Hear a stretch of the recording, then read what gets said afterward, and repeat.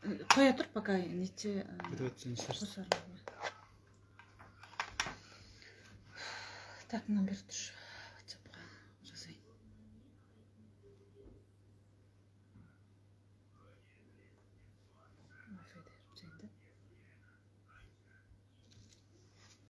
так кешірім өтінемін менің телефонымнан бірдеме болып қалыпты басқа телефоннан кіріп отыр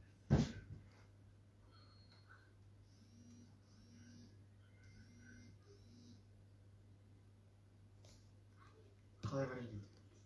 қазір беремін саған қойын күтсін так.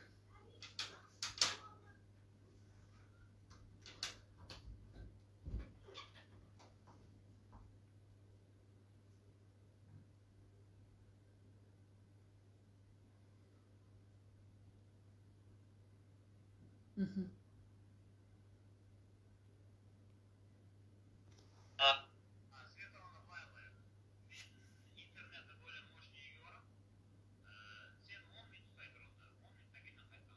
жақсы жақсы. Жақсы ағай.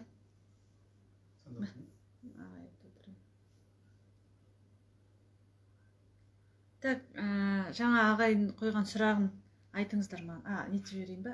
Ашайын ба? Иә. так енді қалай ашамын? А қазір мен екінші немнен қосайын сені.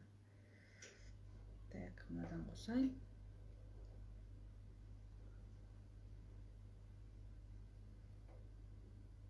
Проверка связи проверка связи так студия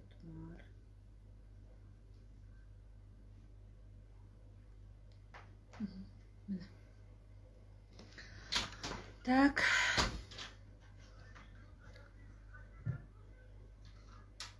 Сұрақтар бар ма?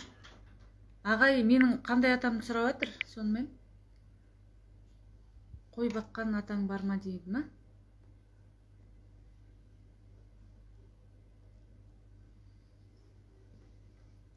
Мен мен сіз қандай әңгіме айттыңыздар дейсің. Қазір сәлден кейін қосамыз ағайды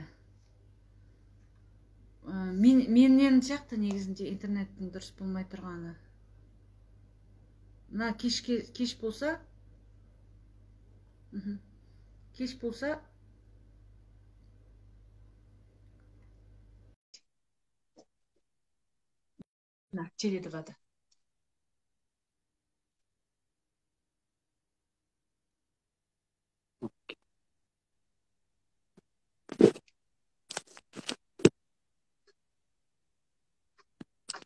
так. Ағай мен сіздің сұрағыңызды естімей қалдым. Былай болсын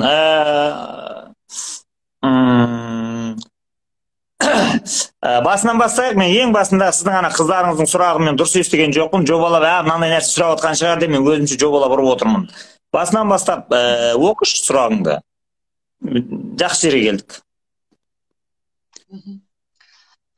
Так ә, олардың сұрағы енді таланттың мәні неде дейді?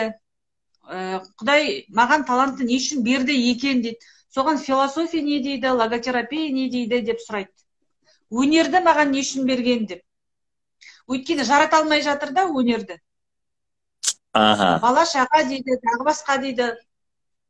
Былай қылайық енді. Біз енді отырып алып оларға олар үйтсін бүйтсін деп ақыл айтпайық. Ұят болады. Біз жалпы енді мен оларға өнер не үшін берілгенін ә, айтып беретін уақи алып отырған пайғамбар емеспін. Уақи тасып жүрген жебірейіл періште емеспін. Я болмаса сол бүкіл болмыстың ә, қожасы алла тағаланың өзі емеспін. Сондықтан біз тек енді бұл өнер не үшін керек ол ол өнермен не істемекші ә, деген мәселеде тек қана бір ә, анализ жасайық мына жарығың сәл шеттен ғой.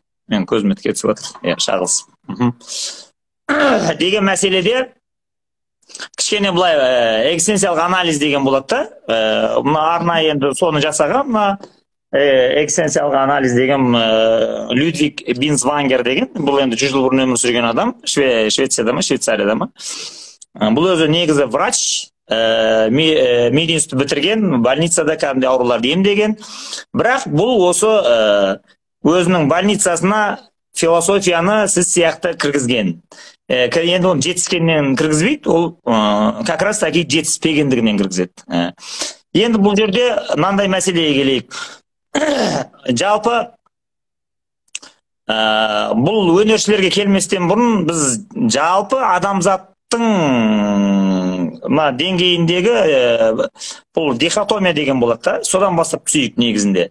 Енді бұрын ә, жаңа дәуір деп аталатын дәуір бар да. Жаңа дәуір деп аталатын дәуір мынау адамдардың ә, ғылымға сенетін уақыты ә, ғылымға табынатын кезеңі. Яғни нақты ғылымдарға табан тіреп әлемді игеретін кезеңі табиғатты қопаратын кезеңі. Или болмаса табиғаттан тәуелсіздік алып шығатын кезеңі деп айтады.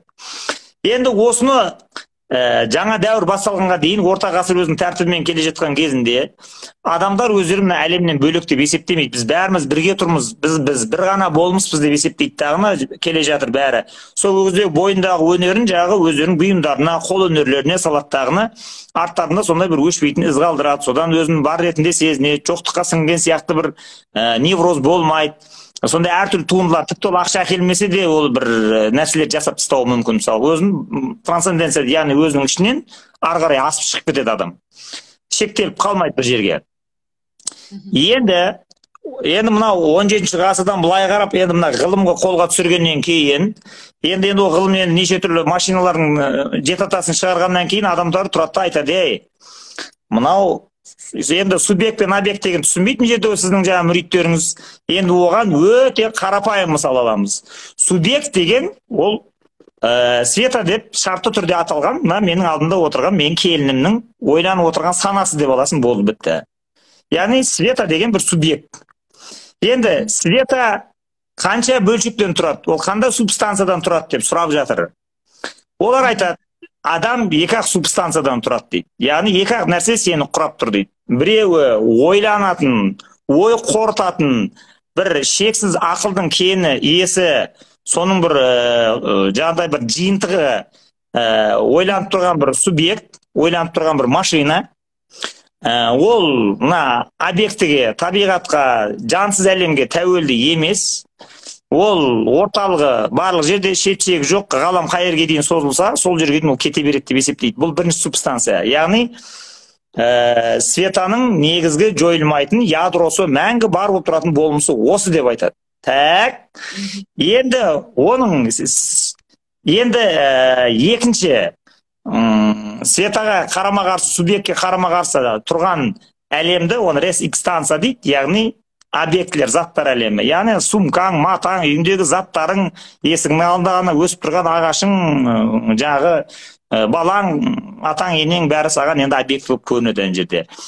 Енді мына сыртта тұрған объектілер объектілер мына светаның субъектісіне ойланатын әлеміне болмысына мынау өте ма өтпей ма? Екеуі бір біріне әсерлесе ма шағылса ма былай? Киіліге ма? Жоқ екеуі екі бөлек па деп сұрады. Сөйтіп олар ойланып отырды жоқ субъект деген яғни ойланатын ана ойлана алатын болмыс жаңағы субстанция ол сондай тәуелсіз затқа мына табиғатқа ол сондай үстем оған мына объект әсер етпейді. Керісінше субъект қалауынша оны илейді билейді игереді қазады қопарады не істесе де өзі біледі деді. А онда біз мына дүниені қалай тонасақ та өзіміз білеміз ғой иә деген әңгіме шығып кетті енді ана жерден. Олар ана субъектіге светаның ойлана алатын ақыл күшіне акцент береміз сол арқылы құдайдың құдіретін көрсетеміз деп еді. Күтпеген тұстан екінші проблема бұрқ ете қалды. Яғни егер объектілер маған әсер етпейтін болса менің ішіме кіре алмайтын болса мен өзім әуелден пісіп түсіп дайын болып бұл әлемге келген болсам онда мына әлемді просто рахатың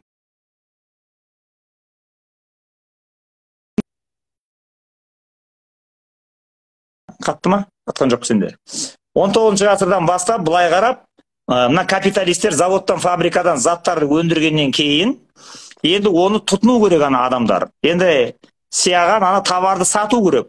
Сондықтан енді ә, баяғы қол өнершілердің заманы бітеді дағыны былайша айтқанда светаның қолдан тігіп отырған сумкасын кім күтіп отырады оны?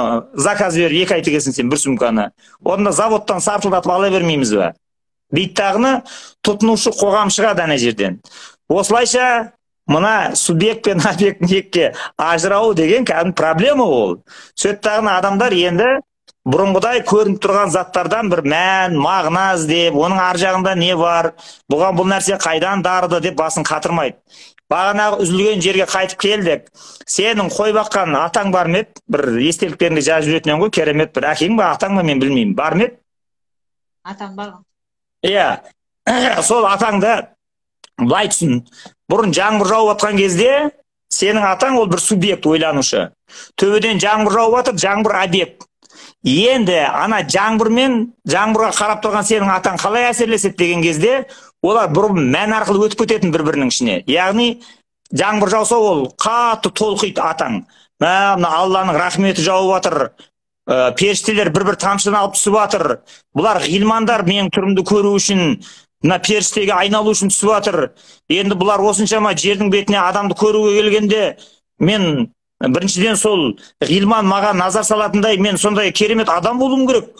Бұлар осыншама жаңбырмен ілесіп келіп бейшаралар адамға назар саламыз деп осыншама үмітпен байғұстар ана дүниеден келіп жатыр лек легімен бір бір тамшыны арқалап. Мен енді осы жерде бір болмайтын әңгіме айтып тұрсам ұят емес па мен бір жақсы адам болайын деп әрбір тамшыдан әсер алады да ана ә, жаңбырдың ішіндегі мән сенің атаңның ішіне өтіп кетеді. Соны айтып жатыр дихотомия бұрын жоқ еді. Яғни жаңбыр мен сенің атаңның арасында ор жоқ сызат жоқ. Ана мәні келеді да ішіне өтіп кетеді. Сөйтеді дағы ол қатты толқып сол жерде күбірлеп дұғаларын оқып ол жылайды. Енді дихотомия қайдан пайда болады? Света деген бір ақылды бір қызы шығады ол физиканы оқытады оған өкіртіп ә, жаңағыдай әкесі шешесі. Ойбай мұнайда ақша көп екен. Сен мына мұнайда қазір елдің бәрі нефтяникке кетіп жатыр мұнайдың бәрі орал мен атыраудың астында екен. Ә, жаңағы ыыы жаңағы төбесінде құдай екен астында да екен жаңағы деген сияқты бір әңгімелерді шығарасыңдар сөйтесіңдер дағы не істейсіңдер? Сені алады дағыны физикаға оқытады енді физикаға барған света не істейді? Ол ана жаңбырдың физикамен оқиды енді. Сөйтеді дағы қараса оның ішінде ғилман да жоқ періште де жоқ вообще ештеңе жоқ оның ішінде. Ол бар болғаны күн ысыған кезде мына волга жайық еділ жайықтың үстінен буланып каспий теңізінен қазар теңізінен буланып төбеге көтерілген су сол әшейін биікке салқынға көтерілгенде конденсацияға ұшырайды дағыны өзінің салмағын көтере алмай қайтадан жерге өзінің салмағын көтере алмай құлайды болды сен қандай ғилман не айтып тұрсың дейді керек па мен саған қазір сондай суларды буландырып аспанға ұшырып жіберетін аппарат жасап беремін мен бұлтты қолдан туғызып беремін мен саған деп айтады. Сол кезде сен тұрасың дағыны баяғы атаң сияқты жаңбыр жауғанда тебіреніп шайқалатын сенде енді сезім болмайды болды бітті. Сен ана жаңбырды қалай игерсем болады қолдан қалай бұлт жасасам болады деп өзің құдай болып тұрасың ана жерде. Енді бұны ана неге алып келе жатырмыз? Бұрын бұны енді мына анализге алып келу үшін бинсвангерлердің заманында жиырмасыншы ғасырдың басында мына еуропада мына психикасы қуып кеткен кәдімгідей ақылы ауытқыған ауру адамдар көбейеді. Енді олар келіп жатыр больница толып жатыр ауру адамдар қаптап жатыр енді бұлар ана жаңағыдай былай қарапсаң сау дейін десең ауру сияқты. Ауру дейін десең ол адам сауға ұқсайды. Ол ғылым оқыған әжептәуір диплом бар с высшим образованием европаның көзі ашық адамдары былай қарасаң. Яғни саудың тамағын ішеді аурудың сөзін сөйлейді қазақша айтқанда. Енді бұлар тұрады дағыны басын қатырады. Сол кезде 27 жетінші жылы ә, мартин хайдегер е мына мына субъект пен объекттің яғни ә, светаның атасы мен светаның атасы көргенде жылайтын жаңбырдың арасындағы қатынасты біз үзіп алдық. Мынау дұрыс емес. Сол баяғы ортадағы смысловой связканы қайтып қою керек оны деп бір неміс басын қатырып соны кітап жазып жатыр ана жерде. Енді ана людвиг бинсвангер деген ол ақылды адам ол ойлайды аха значит біздің мына европадағы адамдардың крышасына кеткені қазір тура осы оқиға қайталанып жатыр қазақстанда. Олар есін жинап алды қазір. Енді ана кітаптарды оқып оқып олар да енді ақылды адамдар ғой енді. Батпаққа бата бермейді ғой енді. Қателіктен сабақ алады ғой. А қазақтар енді кірді бұған. Соңғы бір он он бес жылда енді ауру емес әсіресе мына енді бізді көріп отырған қыз келіншектердің мен саған айтайын бір тоқсан процентінің крышасы кетіп қалды ау ана. Жаңағы ә, бессмысленный техникаларды қайталай беру. Сосын жаңағы арманыңды қағазға жазып өртеп жібер. Холодильникке қой морозильникке қой. Құдай ау маған күніге неше қыз келіншек жазады. Мен бір бәлелерді жаздым свеча жақтым дей ма? Алла алла алла. Міне саған дихотомияның көкесі. Көрдің?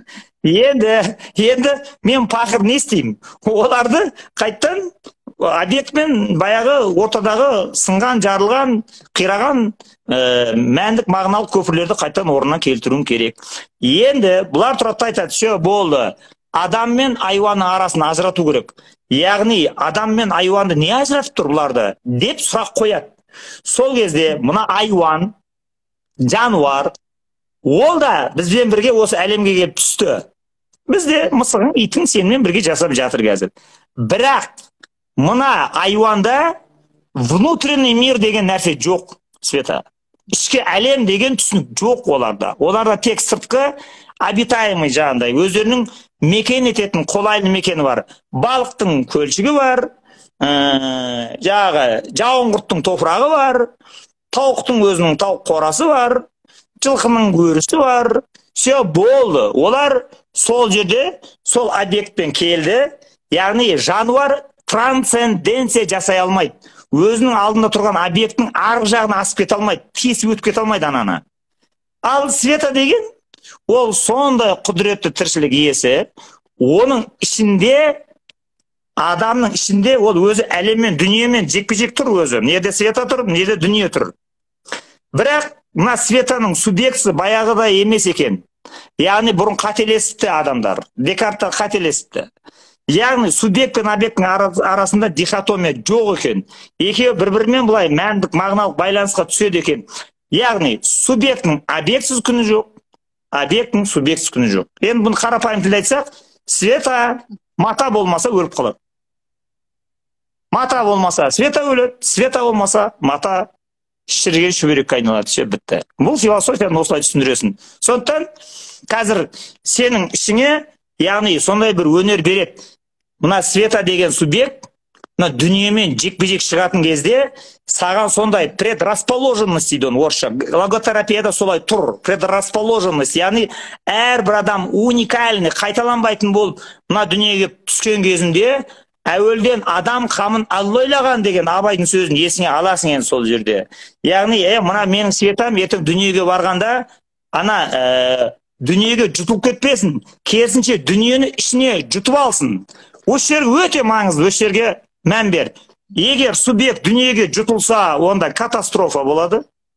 Ал субъект мына дүниені су ішіне кіргізіп алатын болса өзінің ішіне кіргізіп алатын болса онда все победа. Онда света жеңді бұл дүниені онда сен ұтасың. Яғни екеуі контактқа түскен кезінде ана ә, бойындағы өнер қабілет ана алдындағы тұрған заттардан қандай дүние құрап шығаруға болады қандай әлем жасауға болады дейді дағыны адамның бойындағы әркімге берілген қабілет ана айналасындағы тұрған заттардан өзінің ішіне дүние құрайды. Ананы яғни бұны мына көкірек қуыс дедік қой. Яғни кішкентай кезінен бастап ешқандай мынандай аңыз қисса ешнәрсе оқытпай сразу балаңды алтыншы жетінші алты жеті жастан бастап математикаға физикаға точно наукаға английскийге беріп анау қуып кетеді қиял болып кетеді деп аңыз ертегі оқытпайтын болсаң ананың іші қаңырай береді қаңырай береді қаңырай береді. Ең соңында ана бала жасы 15 он алтыға келген кезде ол хищник болады кәдімгі жыртқыш. Мына айналасындағы адамдарды пайдалануды оларды қандай ә, іске жегу керек екенін бәрін біледі. Бірақ мына сырттағы әлемнің мәні мағынасы ананың ішіне бір әлем дүние болып өтпейді. Енді осы жерде мына мені оқытқан профессор өте жақсы сөз қолданады. Енді ол дүния курмак деп жазыпты түрікше. Дүние құру ғой қазақша. Мен енді оны дүние жинау деп қазақшаладым енді былай қыламыз. Қазақта дүние жинау деген түсінік бар. Дүниені бәрі жақсы көреді бәрі жинайды. Енді әсі бұрын енді әйелдер дүние жинағанды жақсы көретін қазір енді еркектер енді оларды қуып жетіп басы озып қалды ау деп ойлаймын. Мына дүние жинау жағынан. Яғни дүние жинау дегенде егер мынандай философиямен келмей оны сен тура мағынасында түсініп үйіңе жаңағы тапқан ақшаңның бәріне көр жердің бәрін қоқыс соқыстың бәрін жаңағыдай ә, элизабет лукастың айтатыны ғой жаңағыдай ә, дорогой мусор дейді. Өте қымбат тұратын қоқысты сатып алып үйіңе жинай беретін болсаң үйіңе келген қонаққа соны мақтанып көрсетемін деп жаңағы дүниені солай жинайтын болсаң онда бітті адам тынды шаруасы ана жерден құлайды. Енді соңынан мен профессор бұл көзі тірі әлі елу үш жаста жап жас доп сияқты дік, дік етіп тұрған кісі. Сол айтады е дүние жинау деген дейді да дүние жинау деген дейді ана сыртта тұрған объектіден фрагменттерден фрагменттер қиып қиып қиып қиып аласың да яғни феномен дейді. Яғни құбылыстар болып жатқан құбылыстарды бір біріне мәнмен жалғайсың. Яғни жаңбырдың жаууы бір феномен. Бірақ ол сенің ішіңе ана жаңбыр сенің ішіңе қарап өткен кезде ол қиссамен өтіп кетеді. Феномен ана жаңбыр құбылысы қиссамен өтеді. Яғни мына жаңбыр не үшін жауып жатыр деген кезде ей ол ана кезінде ғилмандарға кезек жетпей қалған ана адам атаның түрін көруге. Сосын олар аллаға арыз қылған. Біз енді адамды көре алмаймыз ба мәңгі бақи сенің орынбасарыңды енді ана іблісті ә, жер қаптырған ә, сенің ұлық халифаңды көрейік та деп еңіреп жылады сосын алла тағала мейірім шапағат қылып жарайды бақ уайымдамаңдар ертең дүниеге түскеннен кейін жаңбыр жауады жаңбыр жауғаннан кейін әрқайсың бір бір тамшыдан алып түсесіңдер енді адам атаның өзін көрмесеңдер де соған стоящий оның ұрпағын көресіңдер деді содан әрбір жаңбырды ғилман алып келіп жерге қояды да сол кезде светаның баласын емізіп отырған суретіне қарап ах адам атаның ұрпағы мынандай екен ғой дейді да дәреже тауып олар періште болып жаңа погондар тағынып төбеге қарай ұшып кетеді болды. Мына субъекттің ісіне осы өтіп жатыр енді осыны рационалды ғылым өткізбей жолды қиды көпірдің бәрін қырқты бәрін талқандап тастады. Енді ана жағы өнерлі талантты адам өзінің талантын тұншықтырды. Ә, жағдай ә, ішіне өзінің сол таланты мен өнерімен дүние жинай алатын. Яғни дүниенің мәнін жинай алатын. Енді осыны гректер бұрын байқады дейді жаңағы профессор айтады. Сөйтті дағыны мына ә, байқайсың ба? дейді. Көкірегі қуыс адамға дүние хаос болып көрінеді дейді. Мына жүрегі қатайып кеткен адамға сосын олар тұрды дағыны а жоқ жоқ жоқ бұлар хаос емес. Бұлар бір біріне барлық феномен бір біріне мән арқылы байланып жатыр. Сондықтан бұл web of meaning бұл бір паутина смыслов. Яғни бұлар мән арқылы тоқылған бір нәрсе. Адамның да жұмысы әр адам жеке жеке дүниені жинайды енді. Дүниені жинаған кезде енді бұрынғыдай надандықпен ақмақтықпен топастықпен қараңғылықпен мақаулықпен не дейміз тағы қандай синонимдер бар? бәрін жинап осы жерге.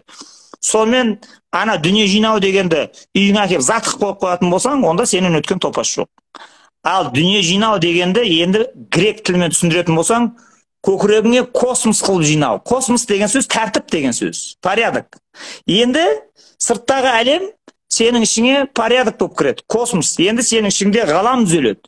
Барлық оқиға бір бірімен байланысады енді қар жауса да теңіз тасса да жел тұрса да бәрі бір бірімен байланып бүйтіп кетіп бара жатыр ана жерде үйіңде қандай оқиға болып жатыр не істеп не қойып жатсың ер мен әйелдің қарым қатынасы мына кулинарияда да тамақ істеп жатқан кезде де нағып әйел адам тамақ пісіреді. Ойбай баяғыда адам ата жерге түскен екен. Сол кезде жебірейіл періште келген екен. Е анаған тамақ пісіруді үйрет депті сонымен жебірейіл періште келіп адам атаға үйреткен екен. Кейіннен адам ата үйреніп алғаннан кейін жебірейіл кетті. Енді ол аңға шығу керек. Енді аңға шыққанда тамақты кім істейді? Сосын алды дағыны адам ата хауанаға үйретті. Сосын ол үйреніп алды да бұл жоқта ол тамақ істеді. Ең бірінші кулинарияны тамақ пісіруді жебірейіл періштеден адам ата үйренгендіктен де еркек адамның пісірген тамағы айрықша дәмді болады екен. Әлем бойынша барлық ресторанда шеф поварлардың әйел емес еркек болатыны содан екен деп тағы да бір нәрсені жамай салады саған. Көрдің? Кез келген оқиға ішіңе осылай космос болып кіру керек. Енді осы аңыздың бәрін өтірік. Мынаның бәрі қиялдың жемісі. Мына зікірші шанжархан деген ұятсыз қиялдан құрап алып елдің бәрін ақымақ қылып айтып жүр ғылымға келмейтін нәрсені деп талқандайтын болсаң онда кешіріп қоярсыз. Сіз людвиг бинсвангердің жаңағы крышасы кетіп қалған мың миллион клиенттерінің пациенттерінің біреуі болып сіз психбольницаға ә, жолдама алып кете берсеңіз болады. Соны людвиг бинсвангер байқап а не қирады деген кезде қанша адам бар сонша мир бар миропроект дейді. Яғни әрбір адам келді ма болды сенің уже предназначениең бар хаос болып көрініп тұрған сыртқы әлемнен объективті әлемнен объектілерден қоршаған ортадан табиғаттан таудан тастан матадан сатадан өзіңнің ішіңе космос дүние жинайсың деп түсіндіреді сабақта осылай. Қайсысы осы ішкі көкірегіне космосты жасай алмады болды. Сіз просто коучтардың арзан жемісіз. Сені енді кім қалай домалатса да өзі біледі. Сондықтан бұл жердегі маған бұл талантты қалай берген маған бұл өнерді неғып берген. Не бәсе неғып беріпті. Хаос дүниеден сенің ішіңе космос түзесін деп. Тәңірі тағаланың саған бұл берген бір бонус нығмет мейірім махаббат шапағаты саған осыны бермесе сыртқы әлем хаос болып көрініп тұр ма? Енді көкірегің де хаос болады. Содан ана фрустрация кетеді сосын. Ана адам кәдімгідей ә, жын болып кетеді. Ана әлемді ол қандай ә, символдармен ассоциация жасап ішіне кіргізді. Соған байланысты ананың крышасы кетеді.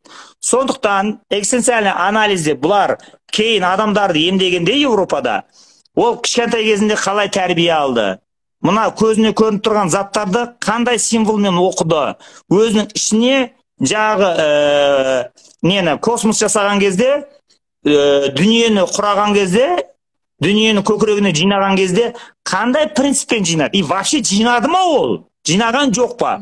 Соған қарап есептейді соған анау ә, махаббатты не деп танисың ананы не деп танисың неге олай танисың олай деп тануыңа олай деп түсінуіңе не нәрсе себеп болды деп ана артқа қарай түртіп түртіп ана адамның ә, субъектінің объектіге деген отношениесіне қарап ана адамның ішкі әлеміне енеді мыналар. Соны енді ә, феноменологическое описание деген болады.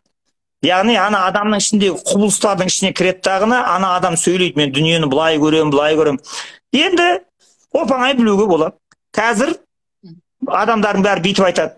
Ойбай жетпісінші жылғы сексенінші жылдардағы әпшелеріміз мықты еді ғой е ол кездегі апалар төтеп беретін еді ауырмайтын еді ғой олар. Конечно ауырмайды ол ол субъект ол өзінің көкірегіне неше түрлі құндылықтарды жинап космос оның іші толған космос олар мына құбылыстың бәрінен олар мән көріп тұр ол сол ол объектпен бүйтіп байланып тұрған адамдар ғой олардың бәрі сен ғой оны мына екі мың бес екі мың үштен бері баламды америка оқытамын аламды жаңағы назарбаев школаға оқытамын сосын не физмат школаға оқытамын деп сөйтті дағыны байғұстардың ертегі аңыз қисса тыңдайтын уақыттарының бәрін қысып қысып сығып сығып бәрін кесіп кесіп лақтырды дағыны болашақ айтидың ғасыры болашақ интернеттің ғасыры. Ә, не дейді жасанды интеллект бірдеңе. Алды бәрін салып мен білемін не менің айналамда ағайын туысқандарымда менің тамыр танысымда менің араласатын ортамда кішкентай кезінен сол айтиға бейімделген баланы мені көрмейді деп ойлай ма мен бір мақау азаннан кешке дейін бір бөлмеге кіріп алып зікір салып отырған бір жынды деп ойлай ма осыларды мен түсінбеймін. Ей көріп отырмын ғой мен сол балалардың бәрі крышасы кетті ғой уже. Енді шешелер жылап еңіреп мына не істейміз? деп күніге жүзін ақ бөледі ғой мен игере алмаймын ғой не істеймін мен? Өзім бала шағамның ішіне космос толтырамын ба? Жоқ өзімнің ішіме космос түзеймін ба? Жоқ ана крышасы кетіп қалған мың миллион қыз келіншектің ана көкірегін түзейміз ба? Амал жоқ бәріне телеграмның ссылкасын бересің да ал жаңағыда ыыы алла хидаят берсін тауфиқ берсін деп бетін бір сипайсың да ана ә, неге? Миғражнама ма не ана каналдар айбек нәбидің ашып қойған сол жаққа кетеді болды. Соны соны тыңдап отырады ол басқа жолы жоқ. Сондықтан ә, мына мен кейде қызығамын сондай адамдарға. Шынымен де сондай бір қолы жыбырлап бірдеңені істегісі келіп бірдеңені қиып үйтіп бүйтіп түзеп бірдеңе шығарғысы келетін адамдардан мен шынымен де бұларға бір құдайдың берген заты. Енді осыны м трансценденция деп атайды. Яғни міне сенің өміріңмен түсіндірсек света деп аталатын субъект ойлап тұрғанмын. Ол мына объектінің ішіне тесіп өтіп кетті ананың ішіне. Сөйтті дағыны мен үшін мысалға маған мата шүберек шаң сүртетін болды жылтырақ әйелдер жақсы көретін бір арзан бір түкке тұрмайтын зат. Ал сенің ішкі әлеміңде ол құдай білсін не воображение қандай қиял қандай картина қандай суреттер ойнап жатқанын бір құдай білсін ол сенің ішкі дүниеңде болып жатыр оның бәрі. Сен тұрасың да ана неше түрлі маталарды көрген кезде кете алмай ана балға үймелеген шылым ұқсап жынды болып тұрасың ана жерде. Е мынауың бесый мынанша метр алайық та деп. Сол кезде сенің ішкі әлеміңде мынадан мынандай сумка тігуге болады мынадан мынандай тақия тігуге болады деп неше түрлі болмыстан болмыс туындап кетіп бара жатыр сондықтан сен ақша аз табуы мүмкін.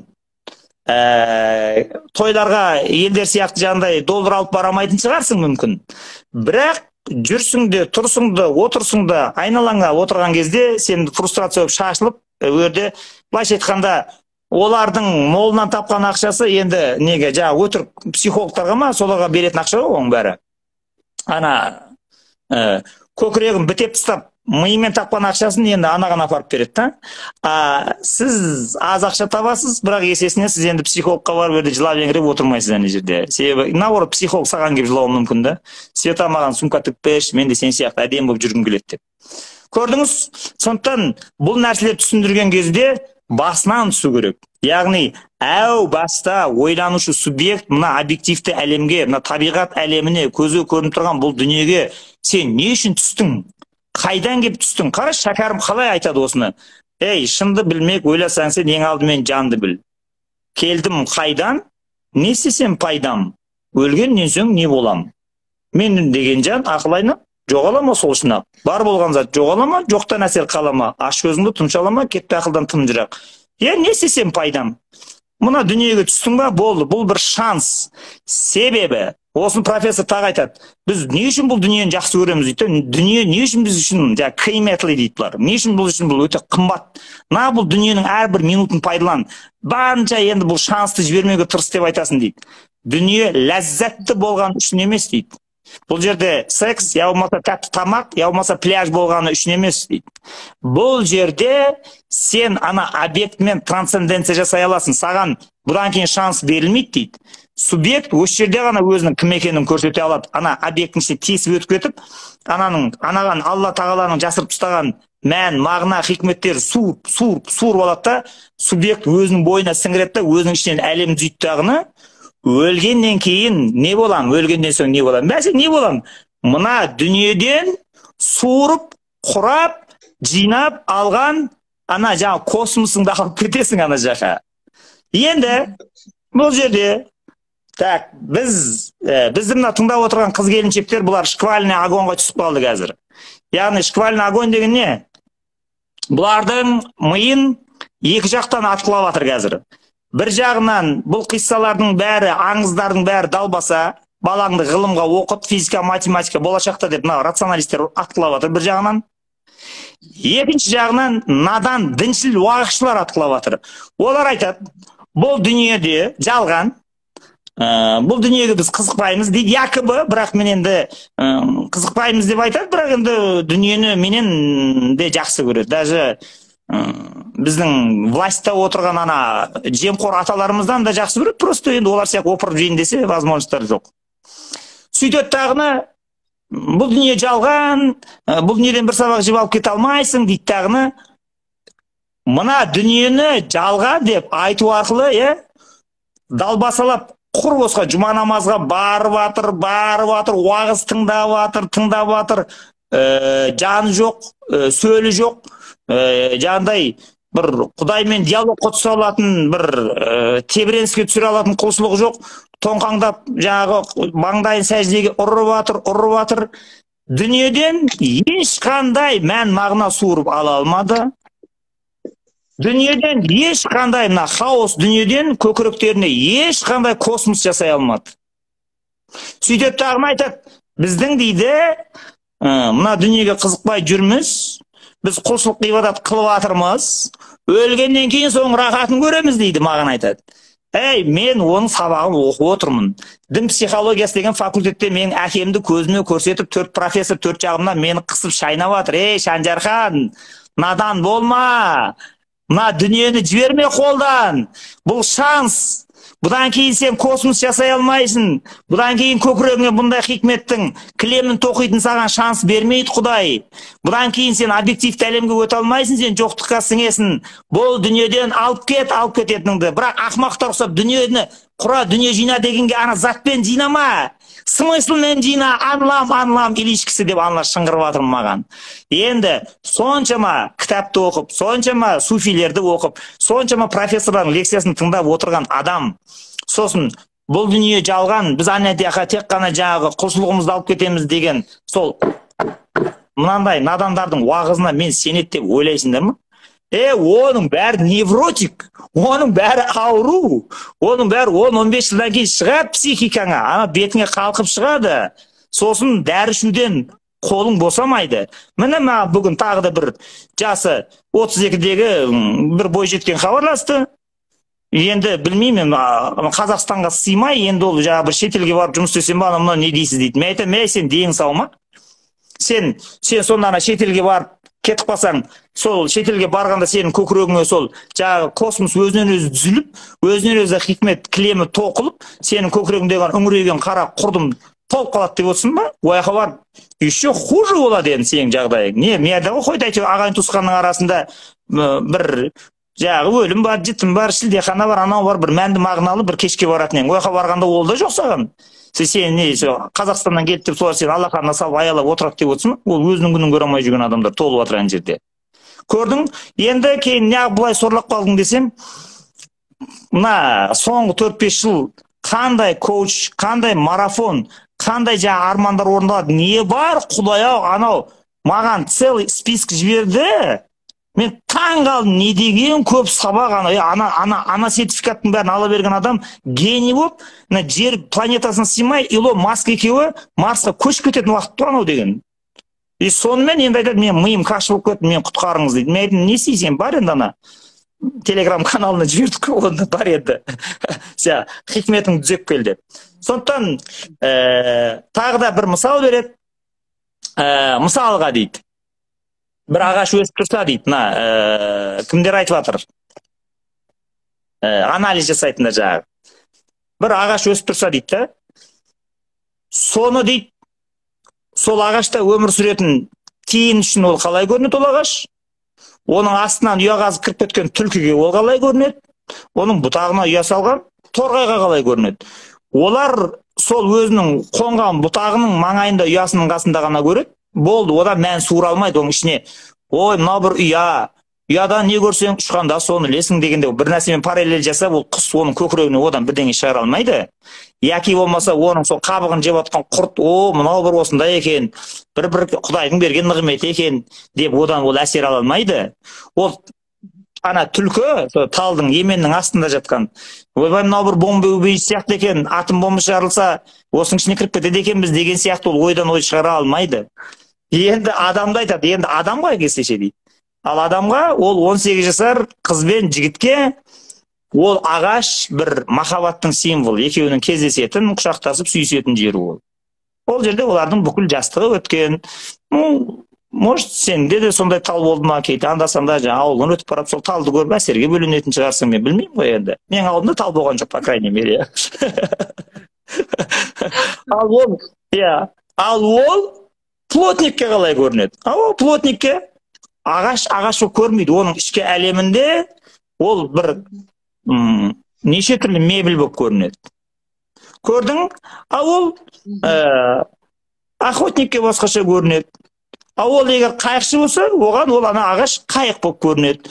Соны ана адамның ішкі дүниесіне қарай ана сырттағы тұрған объект мына жаққа қарап өткен кезде ол мәніне қарай өзгере береді де әлемнен әлем құралып кете береді ол бесконечно ол шегі жоқ осылай кете береді осылай. Енді сонда мына біздің замандағы адамдар нағып сорлап қалды десе сен бір жиын тойға бар да енді жаңағы бір мына қанша үш жүз алпыс алты мүридің көріп отыр ма? Осы үш жүз алпыс алты мүридіңіз бүгін отырсын да өзінің ағайын туысқандарымен тамыр таныстарымен я отырысқа барғанда сұрасыншы. Сіздің ішкі әлеміңізбен таныссам бола ма? Сіз мына осыншама жасқа келгенге дейін мына объективті әлемнен өзіңіздің ішіңізге қандай космос құрап шығардыңыз? Мен сізді тыңдағым келеді. Деп сұрасыншы солар айта ала ма екен сол? Менің менің жинаған дүнием мынау деп шығара ала ма екен қазынасын? Көрейік. Егер ол ештеңе шығара алмаса сіз енді ол адамға айтасыз. Кешіріп қоярсыз. Сіз мына дүниеге келіп туылу деген шансты қолдан құрттыңыз жібердіңіз. Сен просто кетіп бара жатқан ақымақсың. Ертең қарттық келеді құлағың көзің бәрі отырады бес сезім мүшең.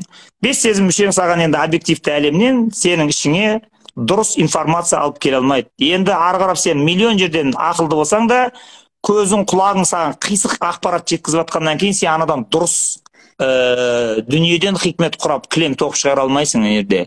Сол үшін айтады е мына бес денсаулығыңды күт бес сезім мүшеңе ие бол бұны көрінген жерге салма. Өйткені бұлар сырттан анлам смысл тасып мән мағына кіргізіп жатыр ішке қарай. Енді тек соны алда космос жаса кілем тоқып таста ана ішіңе. Өлгеннен кейін сол кілемді алып кетесің ана смысловой жаңағы кілеміңді деп айтып жатыр. Енді не істейміз енді? Қайтып түсіндіреміз енді басқа. Енді ғылымның сөзімен түсіндірсең бір сөзін түсінбейді адамдар. Олар не өзім зорға түсіндім соны бір жыл жүріп? Көрдіңіз так что сіздің жаңағы қыздарыңыздың бір ғана талант не үшін берілген дегеннен мынаншама әңгіме міне атқылап шығып кетті. Соның бәрі кезінде өздерінің құдай берген бейімділігін талантын жаңағы ақшаны мол табамыз дейді дағыны ә, қазір е, ана далбасаларға мен сенбеймін ана. Ойбай жиырма бірінші ғасырда мынандай мамандық керек болмай қалады екен.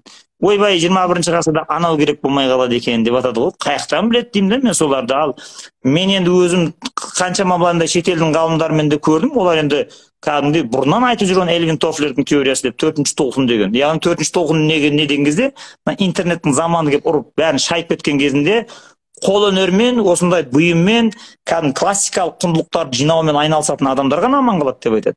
Енді маған да осыдан 10 жыл 15 жыл бұрын адамдар мазақтап күлген. Санжар сен әйелің жапонша біледі токиода оқыған өзің екі үш тіл білесің. Сен не далбасалап ана жерде тентек адамдар ұқсап барып о баяғы шалдардың әңгімесін айтып жаңағы жебірейіл періште өйткен анау сөйткен күнді періштелер алып шығады екен деп сен не далбасалап отырсың деп күлген маған.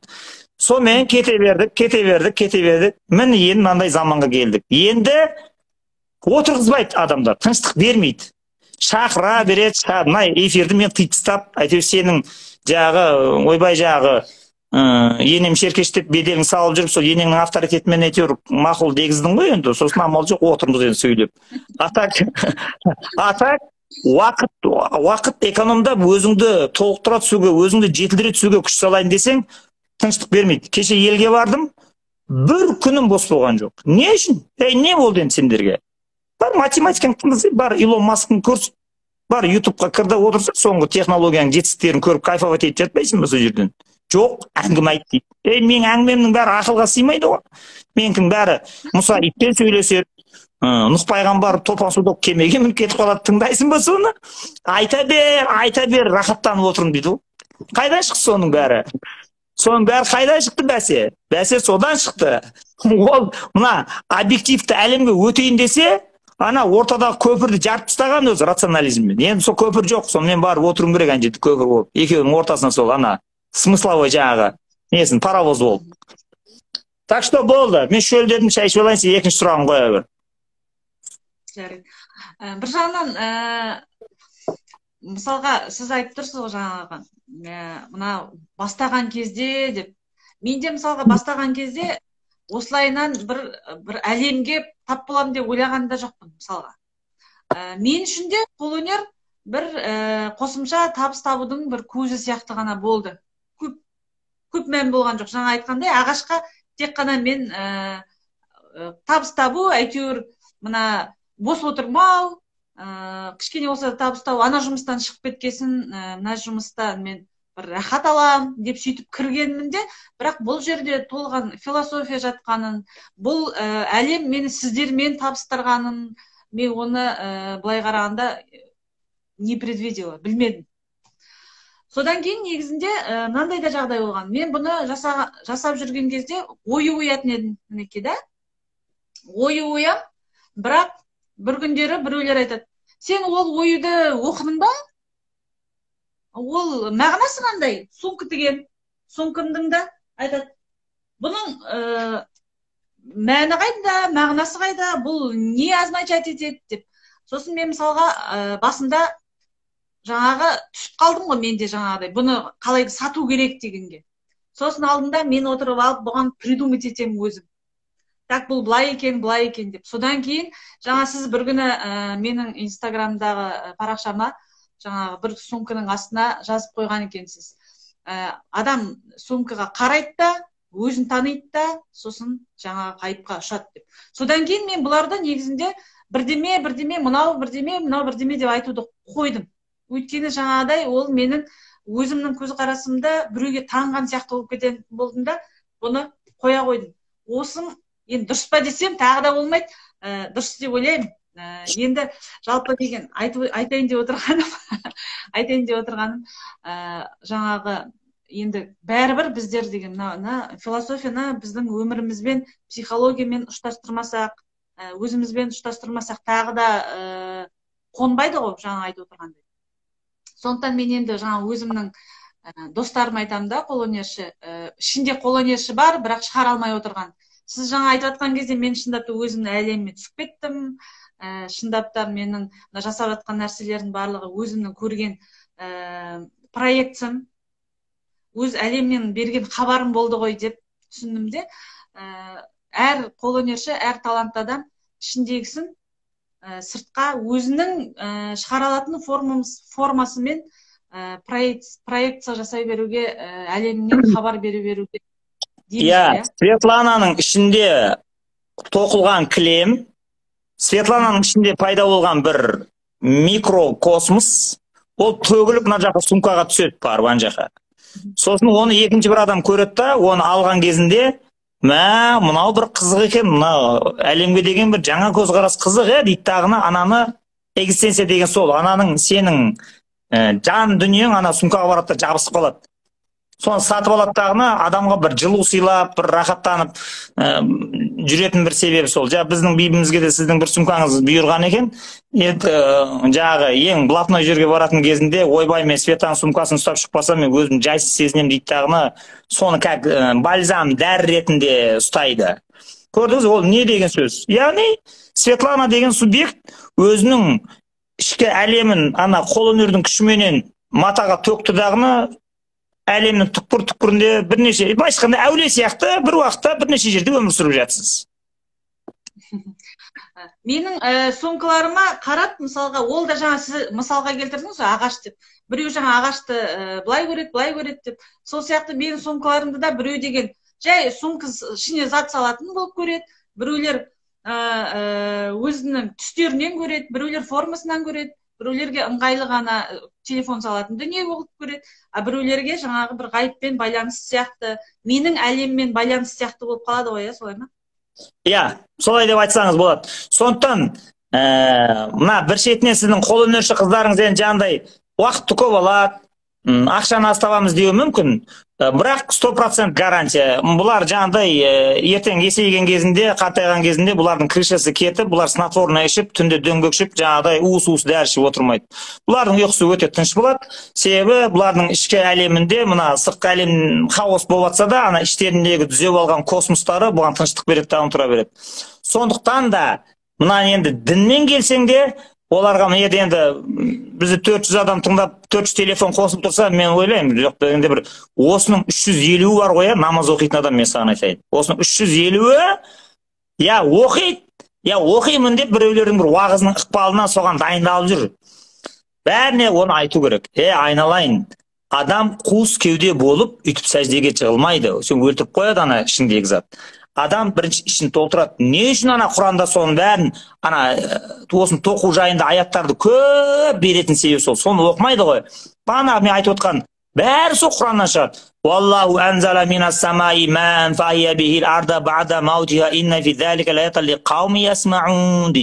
Яғни уаллаху е қарасаңдаршы алла тағала сендерге көктен минас самаи аспаннан жаңбыр түсіп жатыр мә тамшылар түсіп жатыр қуарып өліп дымы қалмай шаң шығып кеткен жерді қарашы жайқалған жазираға айландырып жіберді.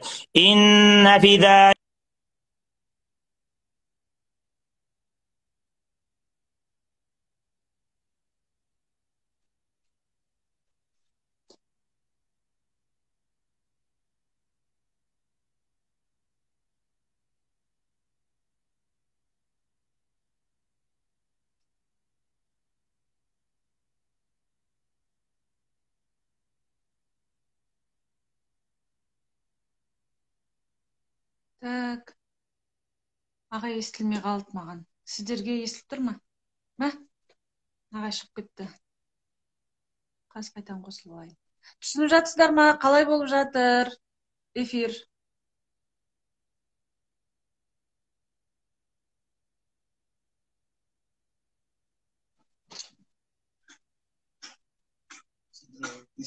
Сандар ағай шығып кетті менен?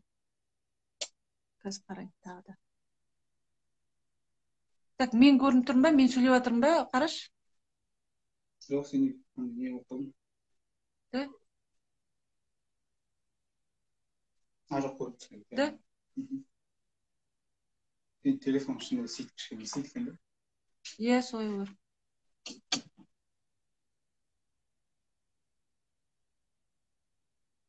Так мен тек уақытша ғана қостым. Ағай шығып кеткесін. Ә, комментарийді қайтадан айырып тастаймын өшіріп тастаймын жақсы ма?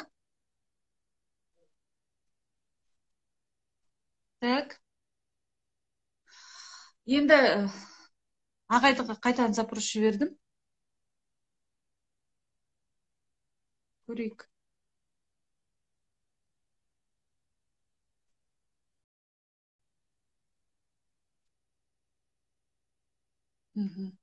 Ағай приглашен дейді қазір қосылып көреді. Тағы да. Мен ә, әзірше дайындаған сұрақтарыма тағы бір көз жүгіртіп көрейін. Өйткені ә, ағайдың әңгімесінен кейін жаңа өзімнің әлеміме сүңгіп кеттім де ә, мына әлемнен ажырап қалдым былай айтқанда. Так енді өзіме күшті ұнап жатыр. Ағай барсыз ба? Тағы да көрейік. Ағай шығып кетті иә?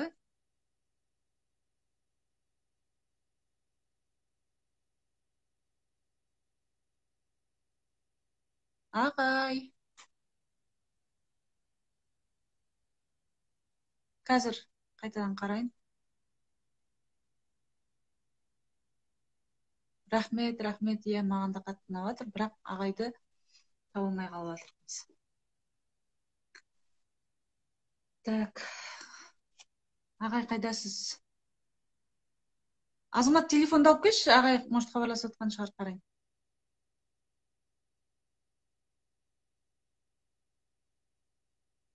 о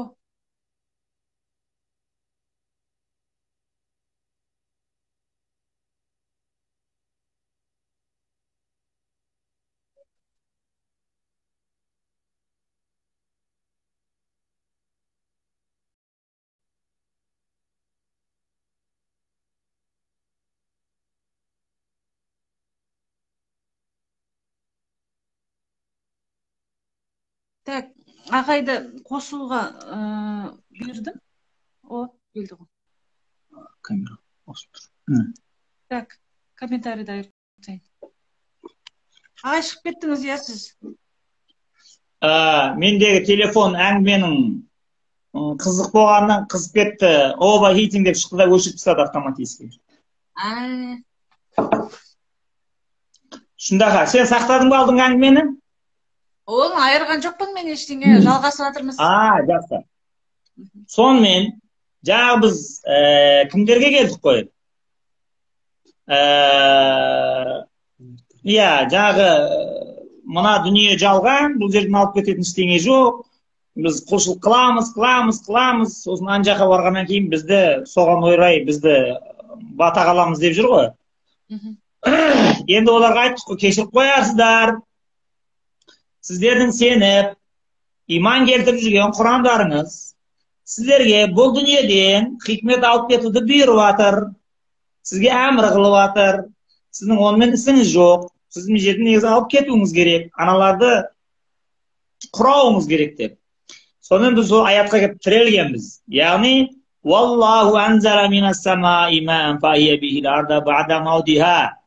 қарасай ана шаңы шығып жатқан даланы мен құдіретімменен жаңбырыммен жаңағыдай қалай селкілдетіп жап жасыл жазираға айландырдым Инна фи залика лааяттан лиқауми ясмаун. мына құлағың егер сен еститін болса сол енді осы аяттың ішінен ана жаңбырдың жауып жатқан нәрсесінен ла аятал сол аят деп отқаны хикмет жаңағы алланың белгілері суырып алмайсың ба енді деп жатыр мхм. آه، وإن في الأنعام لعبرة نسقيكم مما في بطونه من ب... آه، نسقيكم саяға лишарибин яғни олардың жаңағы